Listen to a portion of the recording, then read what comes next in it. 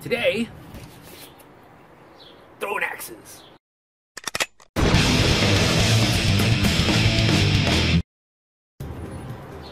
Hey, what's up? Throwing axes day.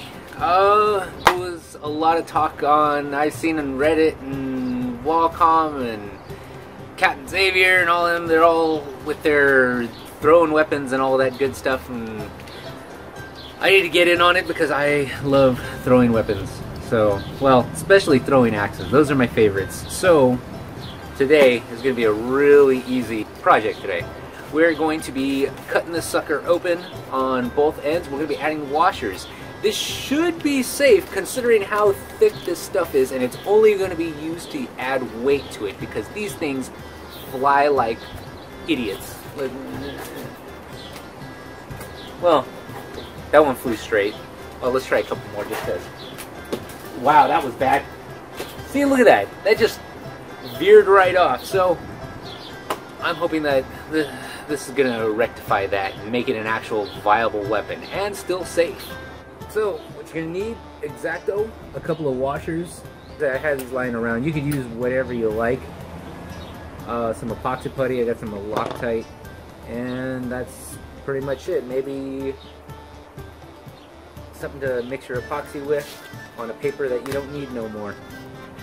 So, let's be off with it. Alright, we're going to make an incision right here. I'm using a really crappy X-Acto blade because I can't find my others.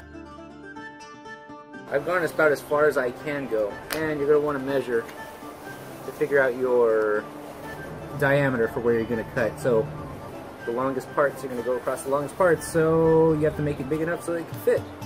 Ta-da! It can fit. But that's only half the way there, so I brought out a knife.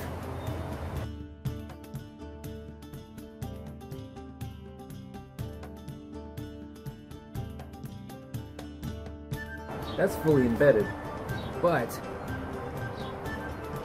the very tip is still out there and I want it deep enough so that there's enough cushion for the cushion.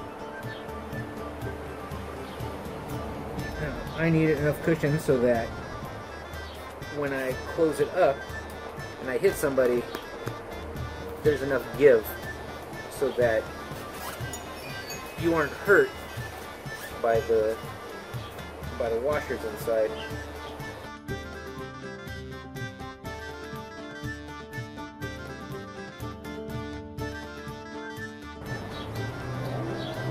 That is more than enough. There you can see the... So as you can see in there, right about there we got about a, good half inch. This is pretty not heavy. When it gets to three, that's when I really feel the weight on it. Hmm, I don't know. I don't know if this is gonna make a difference. It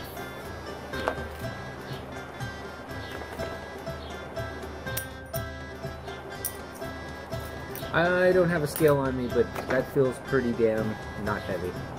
Time to cut the top half. We are going to cut right here. Right here would be bad because then it makes it off center because then it's going to go whoop, whoop, whoop, whoop, whoop, whoop, whoop, and it's going to create a giant scene for people to rave to. The web contest. Uh, yeah, right up here sounds good. So we're trying to make it perfect. Perfect. Baby. Work with me.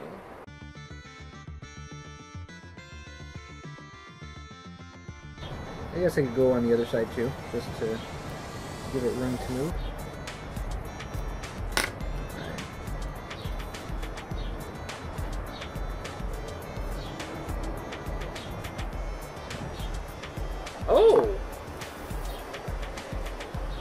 I hit something hard in there.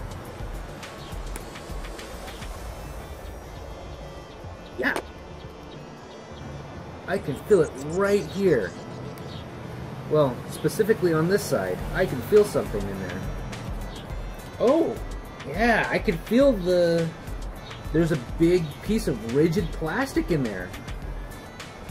I guess I got it at the very tip, and I'm okay. So, let's see. Not right there, but it is right there. Hmm. Interesting. Will I be able to do this? I don't think so. It'll be hanging out at the top.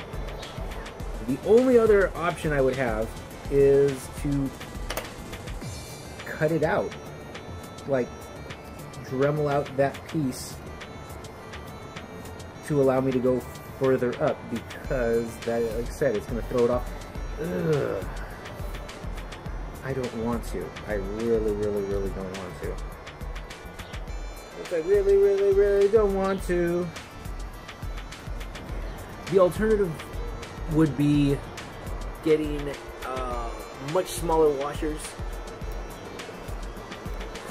Much smaller washers, and many of them. Um, it will bulge out right here. You're gonna have to cut a bunch of foam on the inside, but it will, and there won't be any padding for right here, but you don't need padding for right here because it's gonna be going this way. So that is an alternative. Let's just keep cutting. There we go. Same squishiness. Oh, feels way better. This feels this feels a lot heavier. It feels not a lot heavier, but you can definitely tell the difference between what's what. All right, time for a quick test. I don't care if I lose these washers if they come flying out. I just want to know how these things fly, and I bet you do too. All right, time for our throws.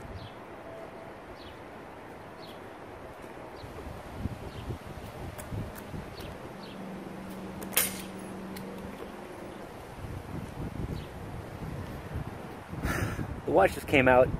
Uh, I think I'm gonna add more washers because that thing flew like garbage. All right, four washers.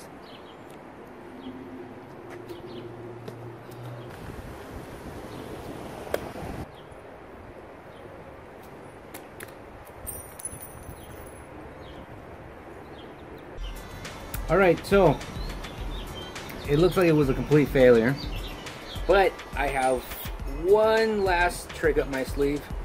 Uh, well, first to prevent everything from falling out before I put epoxy in there and for no reason at all because it doesn't work. I've got this uh, binder clip, the biggest one that's available. We're just gonna throw that sucker on there to keep this thing closed, keep them from leaving. And you just take these off. Alright. So this is operating on three washers, that's on four washers. This ain't closed, but it doesn't look like they want to go anywhere. This thing will offset the weight by the other washer that is not there. And uh, what I'm going to do is I'm going to throw it backwards this way. It seems that the uh, this little blade here uh, it doesn't like the wind resistance, especially because it's very uh, very soft, very thin, malleable, and this has all the heft into it. So the theory is is that by throwing it this way, this creates a fin instead and allows it to fly better because it will won't be trying to cut into the wind and go uh, uh, uh, which is I feel the whole reason it was going all over the place in the first place. So there we go. You throw it this way, it should be fine. If somebody gets hit like that, that's no problem because all the stuff is over here in the back. Can you get hit right here? Eh, possibly. But like I said, we've got enough padding in there that we don't have to worry about nothing. This is pretty much on there too. I just removed the clips really easy, just squeeze and move. And let's go check it out. Testing backwards throw with the binder clip.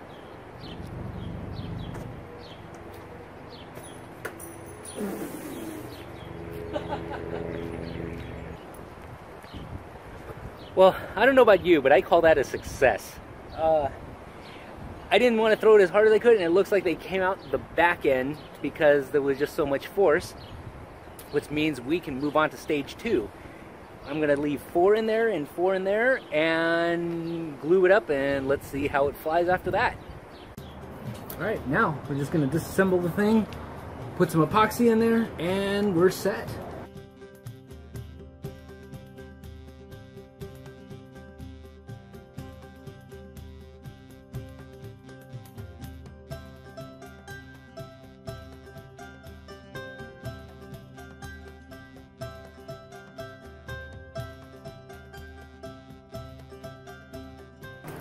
All right, time to insert all this stuff and get going. I'm not so sure epoxy putty is the right idea for this one. Uh, I want to use rubber cement, but this is not rubber, but it allows for the elasticity. Hmm. I don't know what I'd use to close this thing up. Uh, epoxy is going to get hard, but the sponginess, uh, I really don't know. I don't know how this is going to turn out. We're just going to have to see. Liberally apply.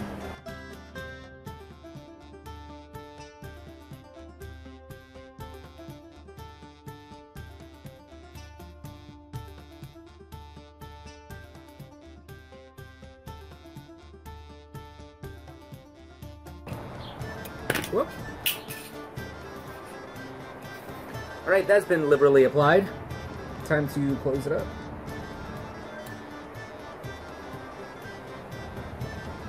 The binder clips work very well. Cool. On to side two.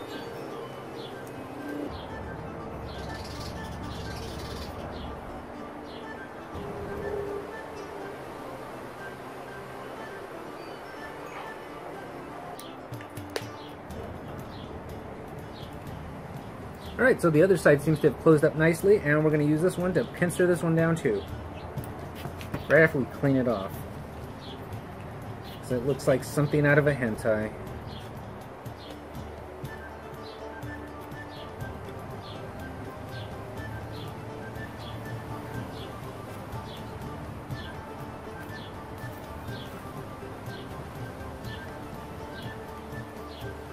We're just gonna fast forward to when this is dried sufficiently, and we'll do another range test. Range test? We don't even need range tests. We know how far this thing can throw. like maybe 25 feet. We're gonna see how well this throws. We're gonna have a throw test. Man, I love it with four in there. Okay, so if I didn't, if you didn't see it already, there's four here, four there. I don't know how much that weighs. I really don't care. All I care about is that it has heft to it, it's safe, and it throws properly. So without further ado, let's go to the throw test. All right, it's cured and everything. Now we're gonna have the reverse throwing test. Let's see.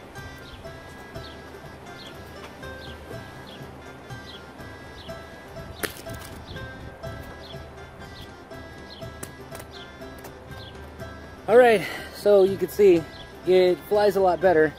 It's starting to tear and hit stuff. So use on the grass or make sure that you don't hit anything, anything hard, like a brick wall. So I think I call it a success. It flies pretty well and now, now is the damage test. Okay.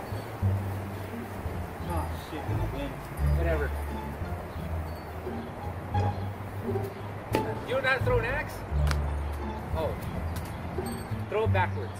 Backwards? Yes, because it, it doesn't operate like a real axe. There you go. See? Something to be said for accuracy. There we go. That kind of hurt, sort of. Like you said, you're using the back end. Yeah, use the back end. Mm, that hurt. What are you, a bitch? Throw it! Throw it, goddamn you! Okay, that didn't hurt. As long as you don't hit the face, that should be fine. Ah! That kind of hurt, but not severely. Ow! I'm possibly deadly. Alright, go ahead. Oh, watch my face.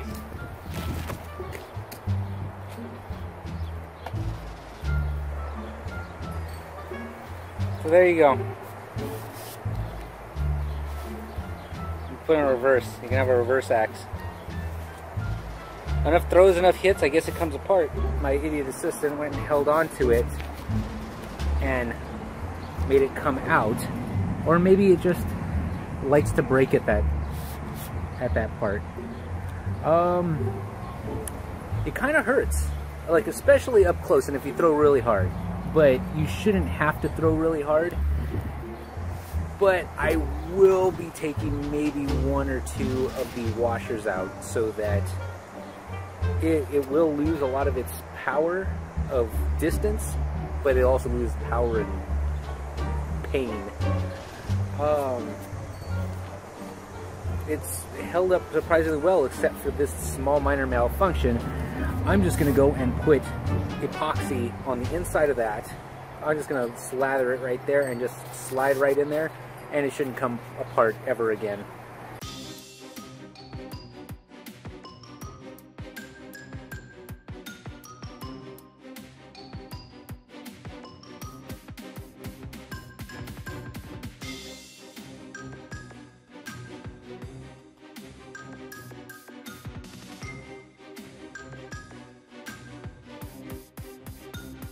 So you actually got to see the little uh, plastic bar that goes into these little throwing devices.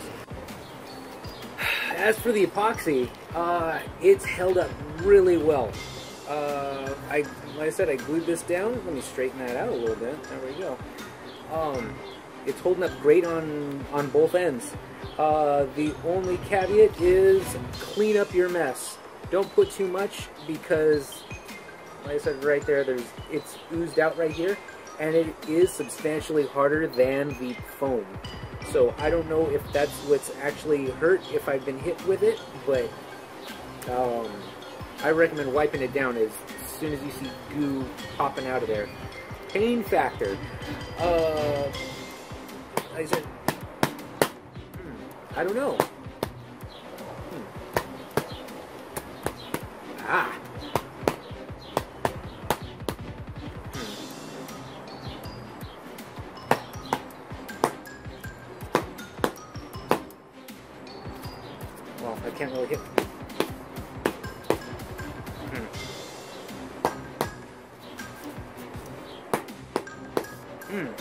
Kind of hurts. Is, are the things in there? Yeah.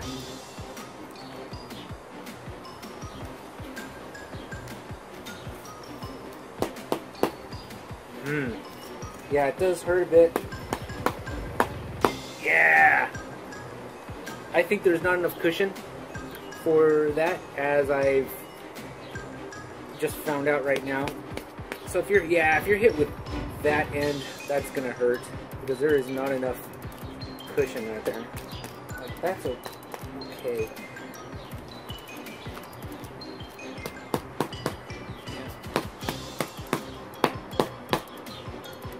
Okay. Damn. Well, it hurts if you keep hitting yourself with it. But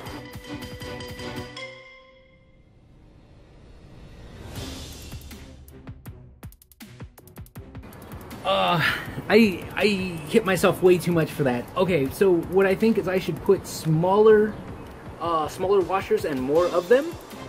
That makes sense to create more of a cushion, so that there's not as much uh, pain. Um, I did get smacked in the face, and it wasn't pleasant, but I'm not gonna go crying at the same time. But if you aim for the face, you're kind of a jerk. So, in darts or anything, I've got shot in the face. I've already complained about it multiple times. Like, I've got a plus bow to the face, uh, like seven feet away, and that is bullshit. Um, it's like, oh, sorry, but at the same time, it almost, like, I'm so glad I had eye protection because it, like, hit me right here. That could have... $3,000 down the drain. Remember how I said I was to finish those other two axes? Well, that's what this is. I think I'm going to need a lot more. Uh, why didn't I make more? Because it sets in five minutes, that's why. I went out to Home Depot. I got smaller washers. These are 1 8th of an inch inner diameter and outer range is one inch. So it's a fourth of an inch off. May not seem like a lot, but it is definitely a lot. Um, instead of four washers, I put five washers to offset the extra fourth of uh, an inch loss in weight. I got a 25 pack of stainless steel, and that was 328, I believe. So it was like 350 after I was done with it. So that let me see. There's five, five, five, five. So I have five uh, left over. It took five on each of these sides. Like I said, I tried to open the other one and to throw the five in there and adjust where the location is of the washers, and it just doesn't want to come out. All of the washers on this side, on the on the handle, are in the back. So um, I can push all the way here and I'm not gonna touch any washer. The washers are actually already in there and um, you can if you were to squeeze it you can feel where the uh, plastic rod is you will hit the plastic rod before you hit the the washers so this one is extremely safe now uh, this one right here I cut open right here into the axe. I didn't go up on top of this. And they're sitting right here. If you can see they're it's kind of bulgy. That's where they are. I tried to make them in a uh, I tried to splay them. And uh, it it really doesn't want to do that. But I tried my best because I wanted it to be as flat as possible and distribute the weight enough. And so I don't have to clamp it as hard. And it just prevents it from opening up because the less the less it has to work the better so anyway, I've wasted enough time talking. Uh, yeah, you can actually see right there. It's like near the very back because when you throw these, they're going to be backwards. It's going to go that way. Nothing right there.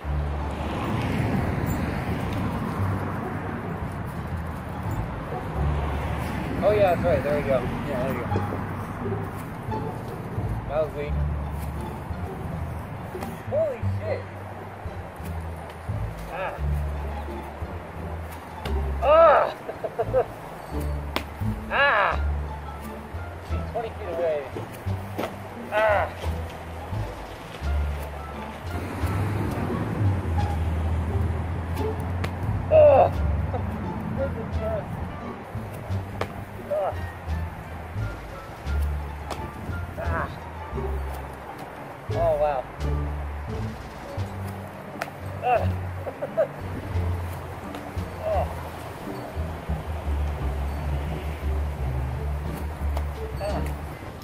so that was the pain test. Um, I'm mixed about this. I think I want to reduce the number of washers down to four instead of three, so it'll be even lighter than the previous build, which was four washers, but they were larger, but misplaced. So this is just all trial and error. I do like it, not for up close. I mean, if it's up close, I'm pretty sure you, you can throw these the way they're intended, or well, not really the way they're intended because they fly like garbage, but within, I would say 10 feet, if you wanted to throw these this way, that would be perfectly fine. If you want to go like 15, 20, 30, like, this will throw reliably at 30 feet. Close proximity, we were throwing it maybe like 20, 25 feet. My helper moved a couple feet back, five feet back. I moved five feet back, and that's what you were seeing. So it, as you saw, it progressively got farther away if you didn't already notice that. Uh, and I like these. So like I said, I would probably pick up more and I put the four washers on each side instead of five and I think it will be perfect. I would take this little piece off right here. I don't know if that was what was hitting me, but sometimes it would hit me like super hard. Let me see. Let's. Hmm. Or was it? Yeah, you know what? I think it was mainly this part that was hitting me. I can't say for sure. I'd have to look at the tape. And I probably will, and I might actually uh, confirm or deny whether or not this would hit. But, like I said, grown adult. Oh. Uh-oh. I can hear them moving in here. But they aren't going to move because this thing is epoxy super shut. But apparently they're loose enough that they can actually rattle. So I can put yo yo yo all I want. Yeah, these are coming loose too.